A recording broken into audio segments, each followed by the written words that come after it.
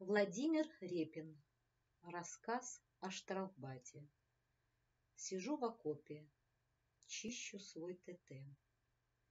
Сегодня утром надо застрелиться. Проснулся. Тишина на высоте, с которой нас обстреливали фрицы.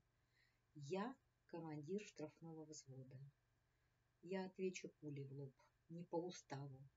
Мой первый взвод – военная семья подался ночью к немцам всем составом.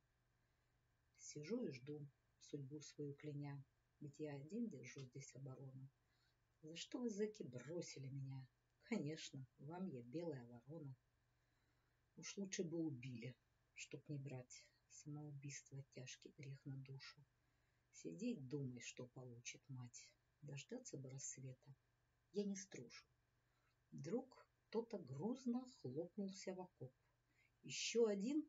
Фашисты? Где граната? Нет, разговор знакомый, матом. Стоп!